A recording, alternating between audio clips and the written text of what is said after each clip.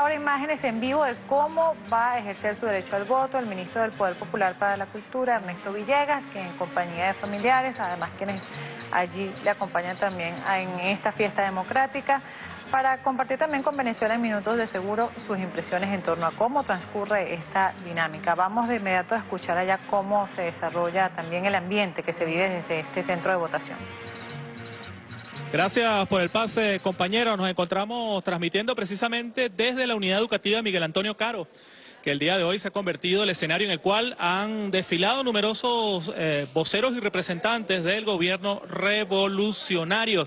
Y en esta oportunidad, como tú lo comentabas en los estudios, el titular de la cartera de Cultura en compañía de sus pequeños hijos y su señora esposa se encuentra depositando su voto en el urna, en la urna de resguardo del sufragio este 10 de diciembre nos referimos al titular de la cartera de Cultura, Ernesto Villegas, quien llegó hace aproximadamente 11 minutos a este centro electoral y luego de hacer su respectiva cola como un ciudadano más, ha procedido a ejercer su derecho al voto. Para las personas que nos están escuchando a esta hora es importante destacar que el, proceso como tal ha fluido con bastante rapidez y de hecho eh, se calcula que la duración del voto está durando aproximadamente 30 segundos. Quizás en el caso del estado Zulia el proceso sea un poco más largo debido a que tiene doble elección.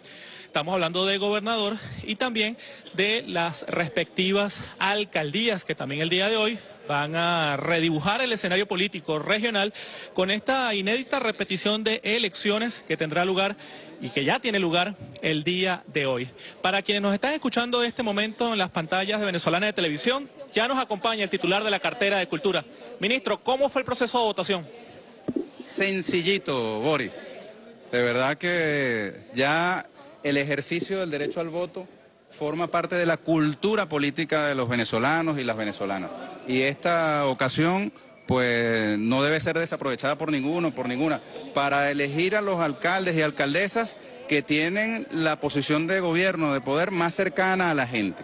De modo pues que eh, no podemos quejarnos de una situación determinada en un determinado municipio si al mismo tiempo no ejercemos nuestra responsabilidad con ese municipio que es elegir a la mejor alcaldesa, al mejor alcalde de cada uno de, los municipios, de los 335 municipios de Venezuela. Así que yo invito a todos aquellos, a todas aquellas que hasta ahora no se hayan decidido a que den el paso al frente y que se acerquen a los centros de votación. Es sencillito, ya tenemos, como decía al comienzo, una cultura política que incluye el ejercicio cotidiano del derecho al sufragio.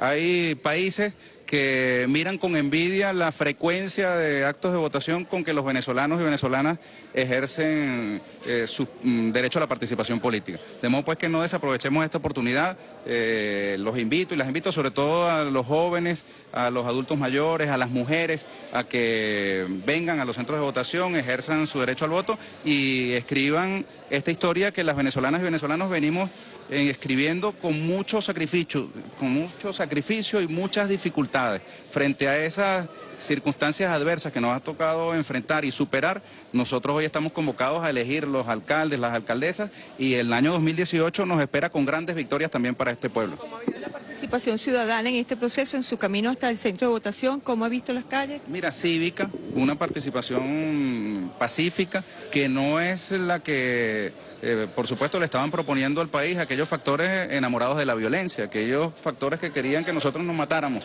Eh, por supuesto que eh, se frustran al registrarse hoy un acto electoral en Venezuela. Aquellos que apostaban a la guerra están siendo, digamos, derrotados una vez más con el acto electoral. El hecho de que hoy se estén realizando elecciones en Venezuela de alcaldes y de alcaldesas indica que ha sido derrotado el plan de la violencia. Y en paz mm, vamos a pasarle por encima a las barricadas que se han levantado para superar los muchos problemas que se han generado como consecuencia de las convulsiones que en los últimos años ha tenido que vivir el país. Hay muchas heridas de esta guerra y esas heridas las vamos a sanar es con participación, con este pueblo eh, activo en la calle. El acto electoral es una forma de participación. Pero debemos decir que la democracia participativa y protagónica incluye otras maneras de participación, otras formas de participación política que cotidianamente nuestro pueblo está ejercitando a través de los CLAPS, los consejos comunales, las comunas, las formas diversas organizativas, los movimientos sociales. De modo pues que esta es una más de las eh, muestras de la democracia participativa y protagónica allá en Venezuela. De los resultados, ministro, la importancia de que las personas que están compitiendo hoy luego acepten los resultados. Bueno, fíjate que también forma parte de la cultura política del venezolano de los últimos años. Eh, hay sectores que, digamos, se han habituado a desconocer resultados electorales, pero que la historia les termina pasando por encima. Eh, terminan ellos mismos desmintiendo sus posturas históricas al inscribir sus candidatos y pedir el voto y aspirar a cargos de elección popular. Eh, la cultura política venezolana incluye eso, incluye la madurez suficiente para pasarle por encima a los denunciadores de oficio y estoy seguro pues de que de aquí surgirá un poder municipal renovado con muchas hombres y mujeres que están asumiendo el reto de la Venezuela de hoy, de la Venezuela que se aproxima un año 2018 de grandes victorias para nuestro pueblo. Se ha de renovar el elenco municipal venezolano y eso le eh, introduce un oxígeno también al sistema político venezolano adicional. Eh, hay una oxigenación, un refrescamiento, una ampliación de los sectores que van a asumir el poder eh, municipal en Venezuela y eso es una buena noticia para la democracia venezolana. Una vez superada la agenda electoral del 10 de diciembre, en su criterio, ¿cuál debería ser la agenda que ahora debe imponerse a partir del 11 de diciembre, el día de mañana?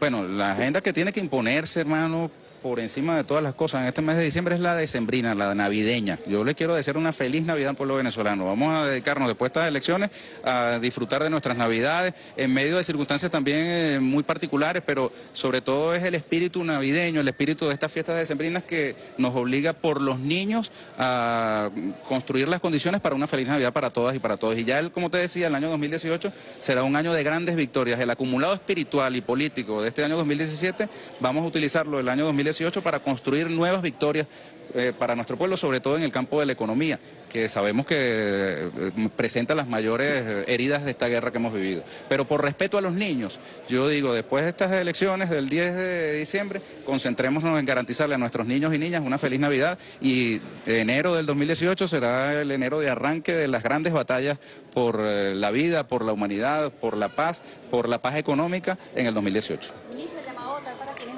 no han salido a ejercer su derecho al voto? Mira, tenemos aquí dos herramientas, nuestra cédula de identidad y nuestro carnet de la patria. Vamos a tomarlos ambos y nos venimos a los centros de votación, ejercemos nuestro derecho al voto, votamos por nuestra futura alcaldesa, por nuestro futuro alcalde, pongamos nuestro granito de arena en este camino que hemos iniciado las venezolanas y venezolanos para afianzar las bases del sistema político venezolano y también para resolver problemas concretos de nuestra comunidad. Eh, sabemos que en las comunidades, como decía hace un rato, hay problemas acumulados y serán los, los alcaldes y concejales los llamados a trabajar, perdón, los alcaldes fundamentalmente, los que estamos eligiendo en esta ocasión los que están llamados a trabajar de la mano con el Poder Popular y con el Poder Regional y Nacional en la solución de esos problemas eh, más cercanos a la comunidad, en materia de vialidad, en materia de recolección de desechos sólidos, en materia eh, de cultura también. En el caso nuestro tenemos una relación desde el Ministerio de la Cultura con las distintas direcciones de, cultura de los municipios y nos interesa que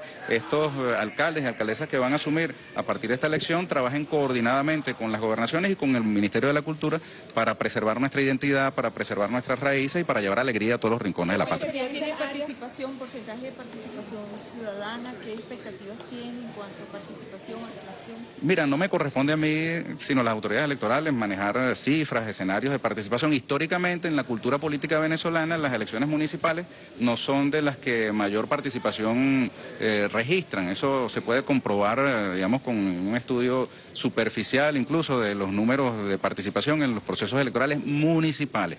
Eh, de todas maneras, es una cita muy importante, una cita que debe movilizarnos a los sectores, digamos, con mayores niveles de conciencia y compromiso y no tenemos ninguna duda, la sola realización del acto electoral ya en sí es una victoria y el hecho de que surja un elenco municipal renovado eh, un elenco de hombres y mujeres que van a asumir las responsabilidades en el poder municipal va a llenar de oxígeno y un refrescamiento al, al sistema político venezolano.